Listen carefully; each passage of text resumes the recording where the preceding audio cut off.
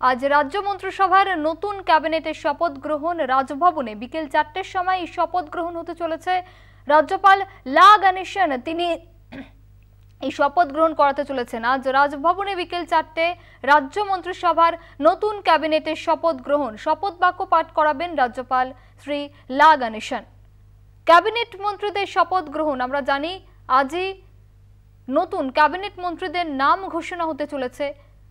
বেশ কিছু দফতরের মন্ত্রীদের বাড়তি দায়িত্ব দেওয়া হতে পারে। বেশ কিছু মন্ত্রীদের দায়িত্ব থেকে আপাতত সরিয়ে অন্য কাজ সমর্পণ করা হতে পারে এবং বেশ কিছু নতুন মুখ আনা হতে পারে ক্যাবিনেট মন্ত্রিসভায়।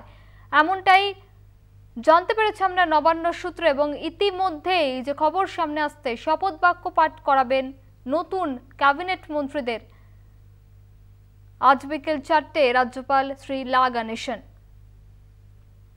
শপথ বাক্য পাঠ করাবেন রাজ্যপাল শ্রী লা গণেশন আজ বিকেল চারটে রাজ্য মন্ত্রিসভার নতুন ক্যাবিনেট মন্ত্রীদের শপথ গ্রহণ। আজই তাদের নাম ঘোষণা হতে চলেছে।